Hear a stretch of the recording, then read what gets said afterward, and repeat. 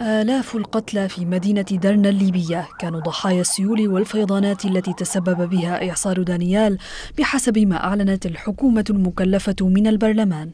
فهنا تحت أنقاض المدينة الواقعة شرقي البلاد عثر عمال الطوارئ على العديد من الجثث إذ تسببت هذه الكارثة بانهيار سد بو منصور لتجرف مياهه ربع أحياء المدينة.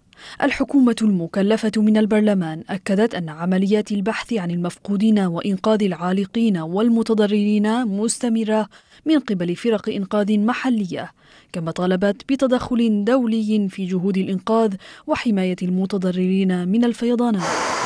رئيس المجلس الرئاسي الليبي محمد المنيفي قال إن المجلس سيقدم كل ما يستطيع للتخفيف عن المنكوبين وإعانتهم على تجاوز هذه الكارثة التي أكد أنها أكبر من قدرات ليبيا.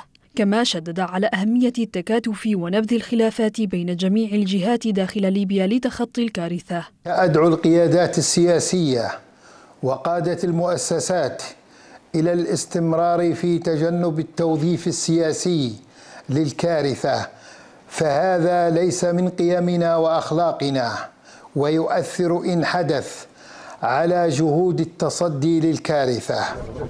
رئيس حكومة الوحدة الوطنية عبد الحميد دبيبه أكد أنه يجري تقييم عروض للمساعدات الدولية لتحديد المطلوب وفقا لما تقتضيه الضروره ولضمان تنسيق جهود الإنقاذ. إحنا محتاجين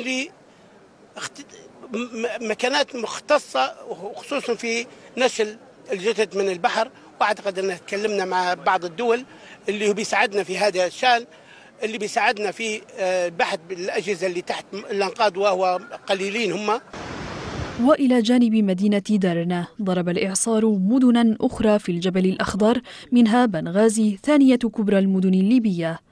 فيما لفتت بعثة الاتحاد الدولي لجمعيات الصليب والهلال الأحمر إلى أن أعداد القتلى في ارتفاع مستمر جراء كثرة المفقودين.